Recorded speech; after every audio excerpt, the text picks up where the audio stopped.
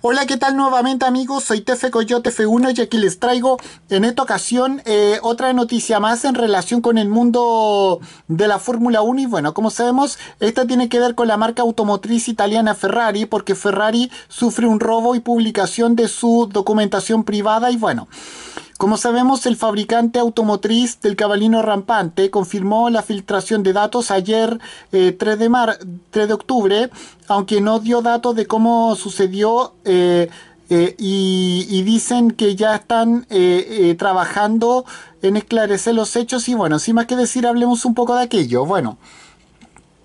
Bueno, como sabemos, la marca automotriz italiana Ferrari eh, se despertó este lunes viendo como varias páginas web habían publicado documentación privada del equipo eh, domiciliado en Maranello y bueno, eh, resultado aparentemente un resultado de un aparente ciberataque que el fabricante automotriz italiano de, de coches deportivos y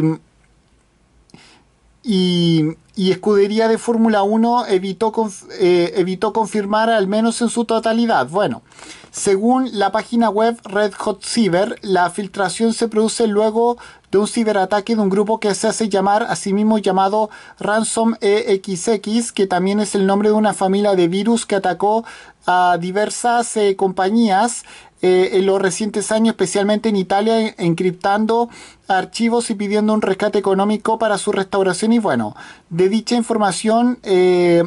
se hace eco eh, el medio de comunicación italiano Corriere della Sera. Y bueno, preguntado por la agencia de noticias Reuters,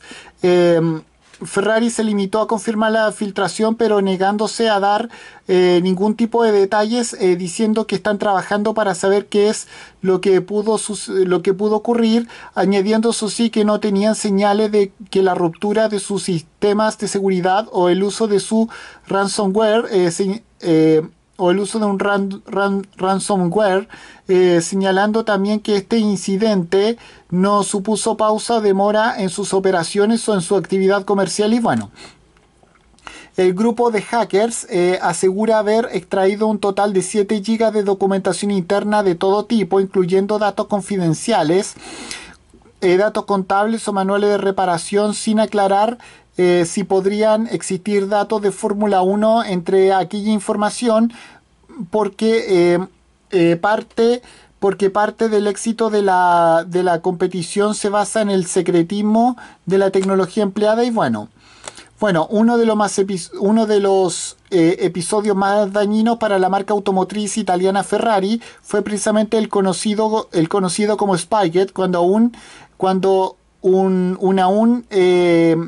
empleado de la marca de la marca automotriz italiana, o sea, Nigel Stepney, eh, se hizo con cuantiosa información escrita por los del equipo domiciliado Maranello, que eran 780 páginas, y le ofreció